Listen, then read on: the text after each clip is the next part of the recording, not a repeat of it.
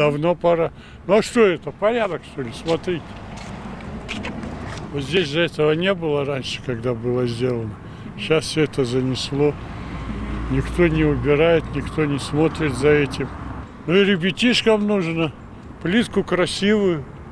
Но у нас красивой не будет, она дорогая. Опять китайскую возьмут. Все испортят, как всегда. Что здесь можно сделать, например? В первую очередь вот эти деревца и сравнять, чтобы чтинка широко как бы лилась. И все было бы нормально. В рамках регионального проекта формирования комфортной городской среды нацпроекта «Жилье и городская среда» каждый житель Забайкальского края может выбрать одну из 86 территорий и проголосовать за ее благоустройство. Сделать это можно на платформе «Госуслуги решаем вместе», на сайте городской администрации и благодаря помощи волонтеров в специальном приложении до 30 мая. На территории всех муниципальных образований участников онлайн-голосования работают волонтеры.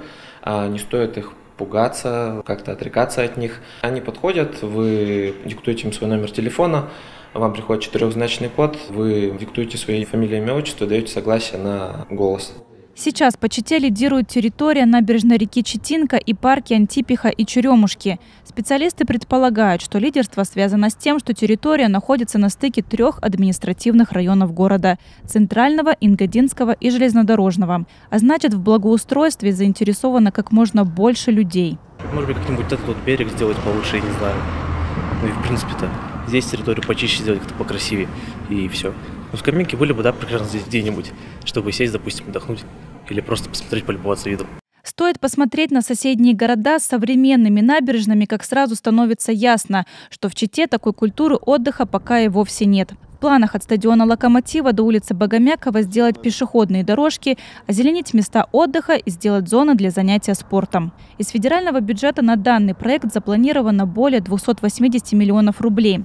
Регион софинансирует данную сумму в размере 2%.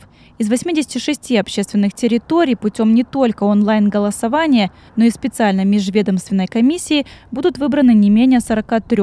Именно они в 2023 году будут радовать забайкальцев. Валерия Афанасьева, Константин Васильев, РТК «Забайкалье».